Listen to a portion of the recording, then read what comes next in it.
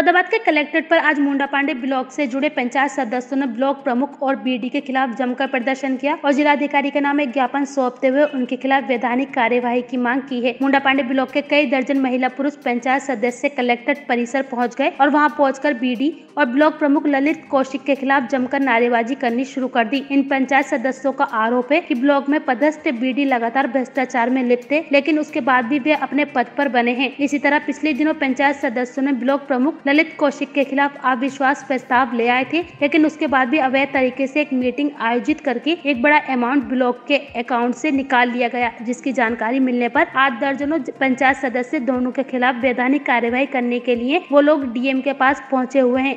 इस, पर जानकारी देते हुए पंचायत सदस्य ने बताया कि जब तक वीडियो को नहीं हटाया जाएगा ब्लॉक में भ्रष्टाचार चलता रहेगा। क्या नाम है आपका? मेरा नाम सरवर अली है।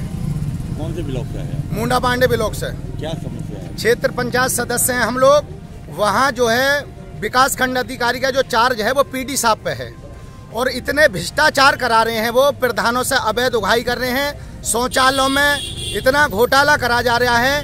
कोई भी जाँच अगर कोई शिकायत अगर कोई करता है तो पीडी साहब पे चार्ज है। प्रभावशाली व्यक्ति हैं वो, क्या नाम है? इस लिहाज से कोई भी जाँच वहाँ हो नहीं पाती।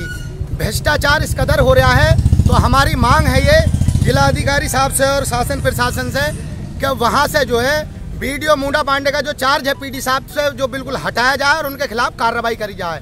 और एक बात यह है कि हमने प्रमुख के खिलाफ जो आविस्तार प्रस्ताव लाए थे, उसके खिलाफ और उन्होंने धोखे से किसी भी बिना बीडीसी मेंबरों को बताए हुए नोटिस जारी करे हुए एक अवैध मीटिंग खुफिया तरीके से फर्जी सहन करके और वहाँ जो धन की निकासी कर ली का नाम है, उसकी भी जाँच होनी चाहिए उच्च स्तर से। वहाँ ललित कौशिक प्रमुख थे।